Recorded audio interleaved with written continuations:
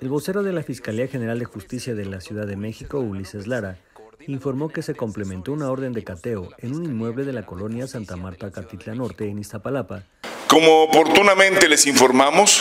personal de esta Fiscalía General de Justicia cumplimentó una orden de cateo en un inmueble de la colonia Santa Marta, Catitla Norte, en Iztapalapa, donde se localizaron cientos de cajas con botellas con refresco de cola, posiblemente clonado, y se detuvo a dos personas. Derivado de ello, David y Jesús Ignacio N. fueron puestos a disposición de un juez de control a efecto de formularles imputación por su probable participación en la comisión del delito de encubrimiento por receptación, ilícito por el cual se inició la carpeta de investigación.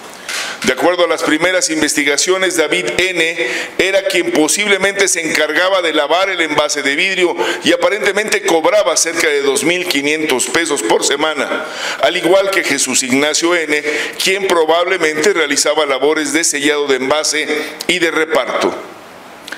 Las indagatorias señalan que los lugares en los que se comercializaba el producto eran principalmente puestos ambulantes de comida establecidos en diferentes áreas de la Ciudad de México, como la zona centro y la central de Abasto, además de los municipios mexiquenses de Chalco y Nezahualcóyotl. Asimismo, las investigaciones apuntan a que la caja de refresco rellenada era comercializada en promedio entre los 200 y los 210 pesos y se estima que diariamente vendían de 50 a 60 cajas, lo que representaría ganancias estimadas entre 10 mil y 12 mil 600 pesos cada día.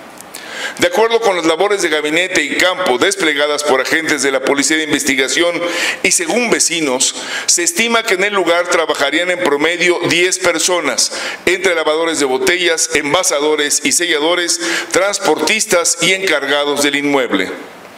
Por lo anterior, el Ministerio Público de la Coordinación General de Investigación Estratégica continúa con las indagatorias para recabar el mayor número de datos de prueba posibles y con ello poder ubicar a todas las personas que tengan una posible participación.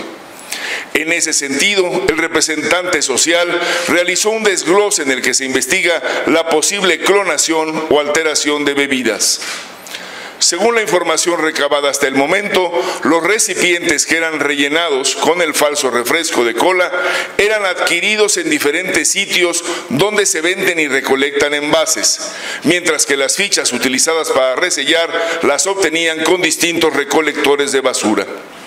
Es importante subrayar que durante la ejecución de la orden de cateo, el personal de la Fiscalía de Investigación Estratégica del Delito de Robo de Vehículos y Transportes aseguró diversos indicios como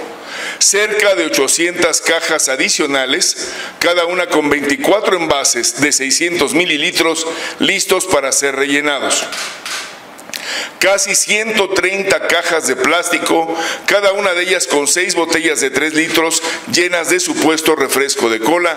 y cuatro paquetes de refrescos, cada uno con 12 envases de vidrio, además de al menos tres placas de circulación con reporte de robo.